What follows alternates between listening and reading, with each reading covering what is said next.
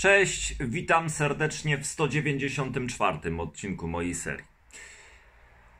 E, niektórzy uważają, że debiutanckim albumem zespołu Various Monks było Emu. Pierwsza płyta na dobrą sprawę nagrana z wokalistką Anitą Lipnicką. Błąd, dlatego że Emu było trzecią płytą i wyszła ta płyta w roku 1994. Natomiast dwa pierwsze albumy są totalnie zapomniane i pominięte. Jeden z tych dwóch, czyli debiutancki album, wyszedł w epoce na winylu. Zapraszam na odcinek poświęcony grupie Various Monks.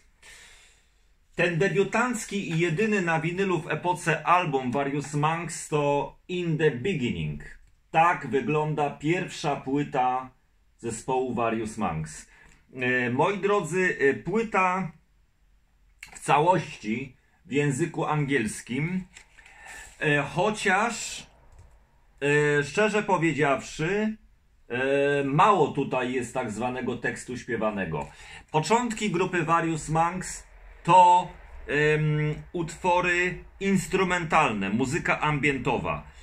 Pierwszy album e, Various Monks ukazał się w roku 1991, opatrzony numerem SX 3008, wydany przez polskie nagrania. Jeżeli mamy numer katalogowy powyżej 3000, no to jednocześnie mamy ostatni label polskich nagrań. Biało-niebieski.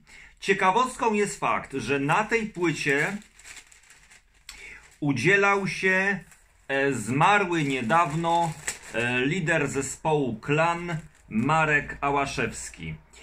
E, o ile jeszcze jest jedna ciekawostka, ponieważ w pierwszym składzie występowali oczywiście Robert Jansson, Michał Marciniak, Paweł Marciniak, Tomasz Ziółkiewicz i Jacek Łągwa, późniejszy założyciel zespołu Ich Troje, Joanna Gozdek, e, Łukasz Błaszczyk, Paweł Babara,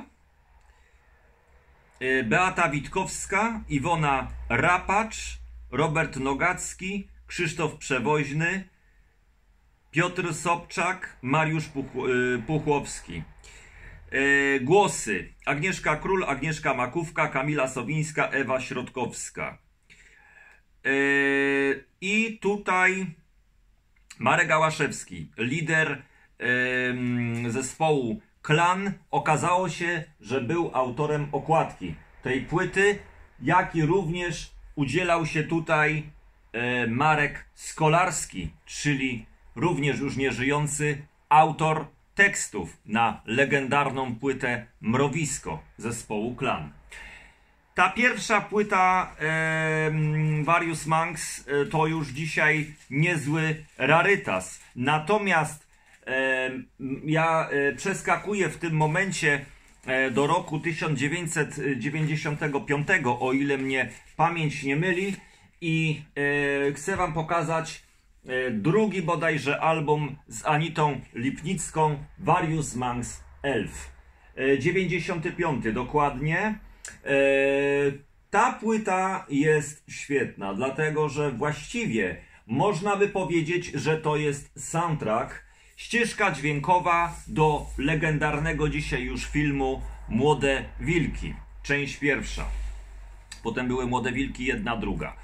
Tak wygląda przód okładki, tak wygląda tył okładki. Okładka jeszcze w oryginalnej folii.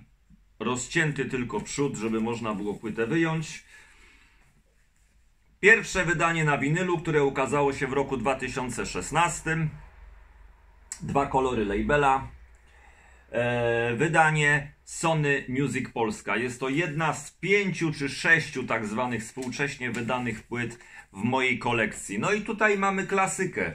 Zabij mnie, oszukam czas, e, wolne ptaki, bez, pocałuj noc, czy zamigotał świat. Właściwie cała płyta to, tak jak mówię, ścieżka dźwiękowa do filmu młode wilki.